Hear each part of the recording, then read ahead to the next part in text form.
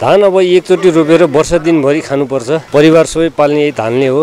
यसको ब- धेरै महत्त्व छ। धानको भातको हिसाबले सबभन्दा बढी चाहिँ हामी नेपालीहरू अलिक भात नै बढी रुचाउँछौँ। तसर्थ पनि यो चामल अथवा धान भन्नुहोस् यो चाहिँ हामी कहाँ एकदम उत्पादन हुने हिसाबले र खाद्य पदार्थको हिसाबले पनि एकदम महत्त्वपूर्ण छ।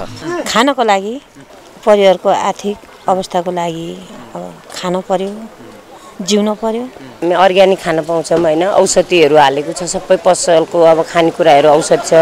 अब हामी अब अब खेतबारी भनेकै अब सबै थोरै थोरै रहिसक्यो। अब अब बाँझो नराखिकन सबैजनाले रोप्दाखेरि राम्रो हुन्छ। बाँझो सबै रको पनि आफूले आफ्नै देशमा गऱ्यो भने राम्रो हुन्छ। धान त हामी जुनसुकै मान्छेले पनि खान सकिन्छ। चामल अनि त्यही भएर धान चाहिँ नि एकदम कृषिको लागि राम्रो हो अनि त्यसको लागि धान रोप्नुपर्छ। हामीले यस्तो असारको मौसममा भिजेर भए पनि रोप्नुपर्छ। चाहिँ नेपाल भनेको कृषि प्रधान देश हो। त्यसैले यहाँ मुख्य अन्न बाली भनेको धान हो। त्यही भएर धान नै रोप्छौँ। धान नभइकन हामी बाँच्न सक्दैनौँ। मुख्य बाली नै हाम्रो धान हो। त्यसो त्यसो भएर यो असार पन्ध्रलाई चाहिँ धान देशको रूपमा मनाउँदै आएको हो हामीले।